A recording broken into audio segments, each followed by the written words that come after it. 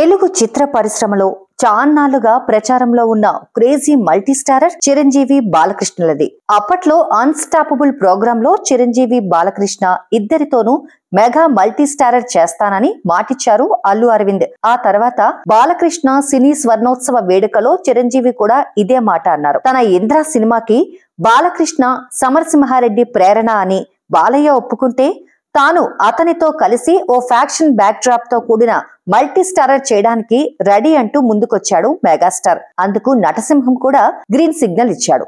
లేటెస్ట్గా Balayya Chiru multi starrer పై బోయపాటి ఆసక్తికర కామెంట్స్ చేశారట.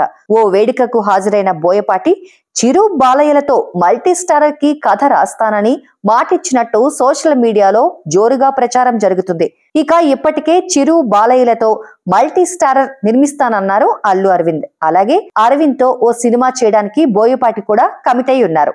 మరి నందమూరి మెగా మల్టీ స్టారర్ కోసం బోయపాటి అల్లు అరవింద్ కలవబోతున్నారా అనే టాక్ కూడా ఫిలిం సర్కిల్స్లో జోరుగా వినిపిస్తుంది. మరోవైపు ఇప్పటికే మెగా నందమూరి కాంబోలో త్రిపుల్ ఆర్ వంటి గ్లోబల్ హిట్ వచ్చింది. ఇప్పుడు చిరు బాలయ్య కలయికలోనూ మరో మెగా మల్టీ స్టారర్కి శ్రీకారం జరుగుతుందేమో చూడాలి.